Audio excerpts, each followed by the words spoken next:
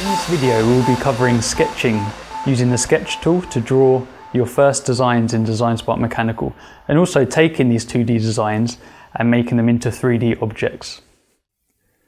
To create your first design, simply click File, New Design. Here you'll be presented with the home window in DesignSpark Mechanical.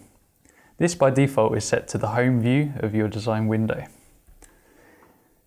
Today we're going to create firstly a 2D image and then show you how to create a 3D dimension using the pull tool. First I'm going to enter the sketch toolbar and select a rectangle tool. I'm going to bring this to my design, click once and drag and as you will see, there are dimensions that appear on both axes. And I can enter my first dimension, which is 95.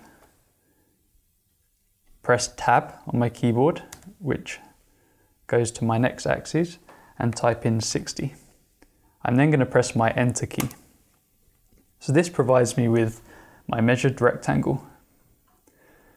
Now, to take this into a 3D dimension, I'm going to enter 3D mode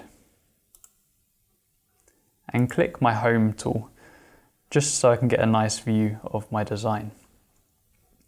So with the pull tool selected, as you can see as I hover over my design, arrows appear indicating which way I can pull my design. So to do this you simply click and drag. So right now I'm actually holding down my mouse button and you can see that some dimensions appear. So to enter the dimensions, I'm going to hit my spacebar and this freezes your design, allowing you to enter the dimensions of your base, the base of your enclosure. So I'm going to enter 3 and this has created a 3 millimeter base.